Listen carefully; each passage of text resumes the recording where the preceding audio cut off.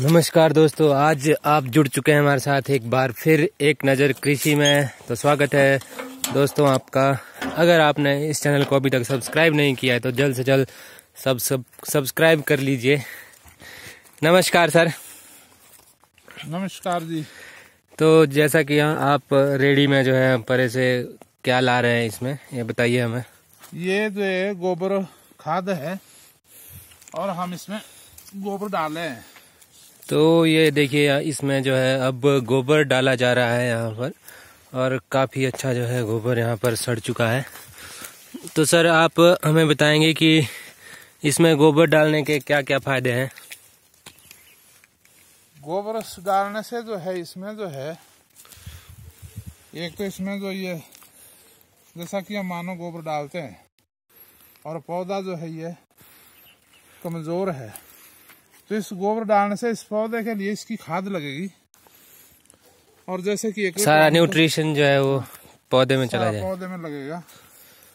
इससे घास भी थोड़ा होता तो बहुत है लेकिन फिर इसमें जो है बाद में गुडाई होती है। और जी। गुडाई के बाद जो है इसमें जो है मतलब ये गोबर मिलाया जाता है। जी और इसका मेन कारण ये होता होगा कि नमी ज़्यादा बनी रहती होगी। इससे जो है मतलब नमी भी बनती है और जो है इसके नीचे जैसे कि मानो हम पानी लगाते हैं तो इसमें पानी जो है मतलब वो जल्दी नहीं सूखता। तो जी हाँ जैसा कि आप देख रहे हैं वहाँ पर पूरे जो पौधों के पौधों में जो है वो गोबर डाल दिया गया है। तो अब आप इसे सीधा करके बताएँगे कि कैसे इसमें अभी तो आप सिर्फ़ डाल ही रहे हैं इसमें। अभी तो हम इसमें डाल रहे हैं। और बाद में जो है अभी हम जो है इसको मतलब बिल्कुल इसमें बराबर करेंगे इसको। ये हमारे पास जार। अभी हम आपको बताते हैं भाई हम किस ढंग से ये करेंगे। तो ये देखिए यहाँ पर अब इसको जो गोबर है उसको यहाँ पर सीधा करके दिखा रहे हैं। ये हम जो इसको यूँ सीधा कर रहे हैं? इससे जो है मतलब इतना गोबर चाहिए इसके लिए। तो इस प्रकार जो है इस गोबर को सीधा कर दिया जाएगा इस तौलिए में। ये जो है बिल्कुल ये हो चुका है। अब इसमें जो है इसमें नमी बनी रहेगी। अब जो हम पानी भी लगाएँगे तो जल्दी नहीं सूखेगा। जी। तो ये देखिए इसमें कैंचुए भी जो है काफ़ी मात्रा में है तो मिट्टी में भी अभी जाकर वो नीचे काफ़ी अच्छी खाद बना देंगे। और ये देखिए अभी चलते चलते इनसे बात करते हैं। अभी और भी बोरियाँ जो हैं डालने को हैं।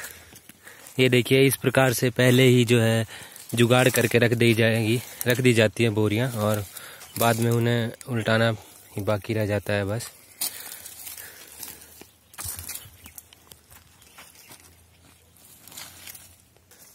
तो जो हमारे दर्शक हैं वो आपसे ये भी जानना चाहेंगे अब इसमें गोबर तो आपने डाल दिया है और कीवी की जो है तुड़ाई भी कर दिया है। तो अब आपसे यह जानना चाहेंगे हम भी कि आप इसकी कटिंग जो है वो कब करेंगे? बस और अब कटिंग का जो समय मतलब वो अब आ चुका है। अब कटिंग शुरू हो क्योंकि वैसे दिसंबर में ही कटिंग शुरू हो जाती है और फरवरी पंद्रह तारीख तक। तो अब जो हम जो है इसमें जनवरी से पहली जनवरी से हम इसमें कटिंग करनी शुरू कर देंगे। जिस वक्त इसकी कटिंग की जाएगी उसका प्रोसेस भी हम पूरा देखेंगे। अभी देखते रहिए। तो दोस्तों आज की वीडियो में सिर्फ़ इतना ही। तो लेंगे हम अपने अलविदा अब इनसे सर से। आप जाते जाते हमारा चैनल को सब्सक्राइब करें, लाइक भी करें और शेयर भी करें। आपका बहुत बहुत धन्यवाद। नमस्कार। तो दोस्तों, कर दीजिए चैनल को सब्सक्राइब, लाइक और शेयर। Thanks for watching